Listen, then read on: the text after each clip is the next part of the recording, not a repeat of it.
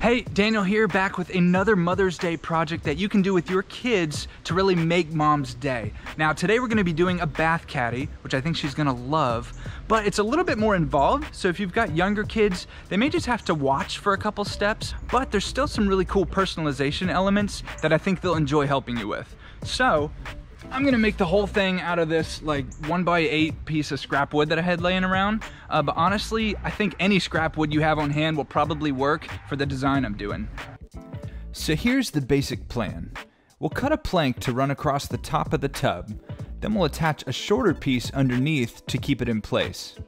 I want to add a few accessories like tea lights, a book holder, and a drink holder. I've also got ideas for some kids personalization, but we'll get to that later. So you really only need to measure two things on your tub before you make your cuts. You need to know the distance from the outside edge to the outside edge for the top piece, and then from the inside edge to the inside edge for your bottom piece. All right, so my long cut needs to be 32 inches. I'm gonna use this jigsaw to cut it. But again, if you had younger kids, could use a handsaw. It just takes a little longer. Safety first.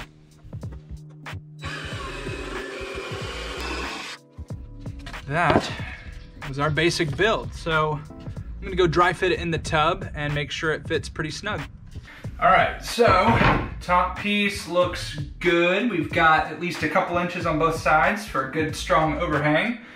And then the bottom piece is clear. So got just a little bit of a buffer there, which is okay. As long as it's not gonna slide out or be able to twist out, then that piece is doing its job. We're good. Now it's time to attach the two planks. I'm gonna use wood glue and a couple screws on the bottom side, just to hold it extra secure. Be mindful where you put the screws though, as it'll limit where you can drill down from the top. Okay, time to plan out where to put the accessories.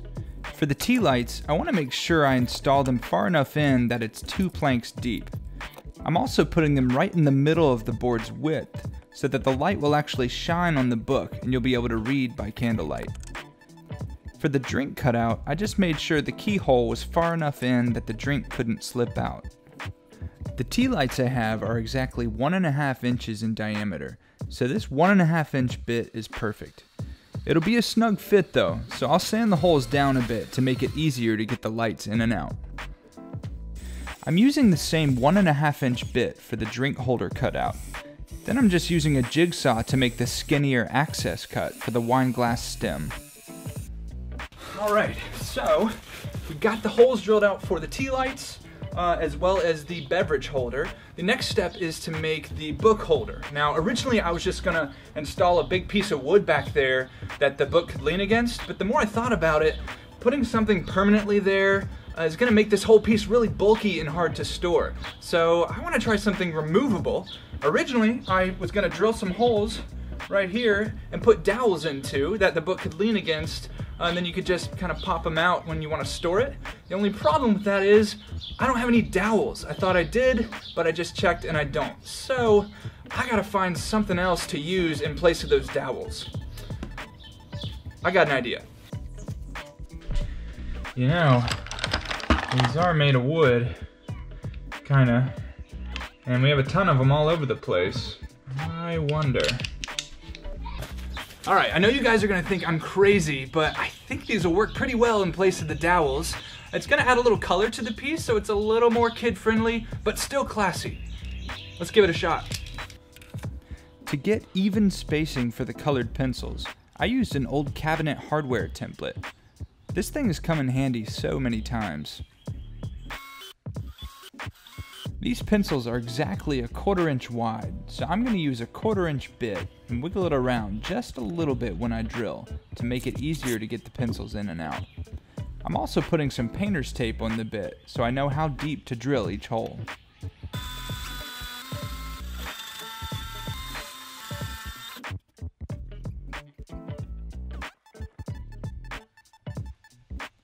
Voila! All right, we're getting close on this thing. It's almost time to sand it down, stain it, poly it, and be done.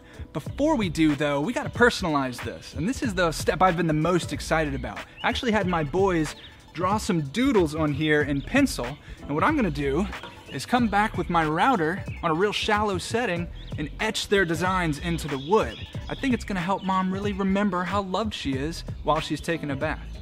Now, if you don't have a router, you could also use a Dremel or a wood burning kit, or you could just paint the designs on there. Either way, I think it's gonna be really special. If you've never used a router before, it's a really amazing tool that allows you to make these freeform shapes and cutouts that you really can't get with any other power tools.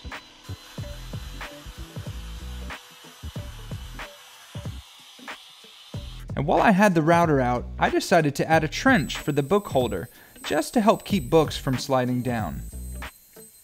With all our cuts and routing done, it's time to sand, and I think using regular handheld sandpaper is the way to go here. Plus, this is a good step for kids to help with. All right, we got this thing all silky smooth, no hard edges on there. The last thing we need to do is put a stain on there, give it a nice color, and then seal it up with a polyurethane. This is gonna be around a lot of water, so you don't really wanna leave it raw.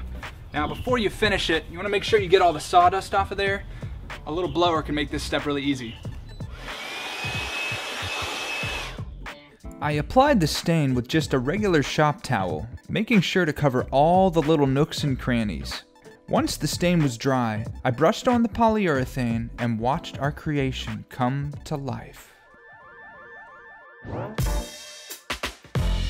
Ah, this is it the perfect place for mom to kick back with a tall glass of kombucha and read her favorite book. Now you can make fun of my colored pencil idea, but they're actually really sturdy and I like the color they add. Plus they're removable, so storage is way easier. The kit personalization elements really look nice. The stain brings out the design, but it's still really classy and feels integrated into the piece overall. Let me know if you end up trying this one. I wanna hear how it goes. And moms, you've earned this. Happy Mother's Day.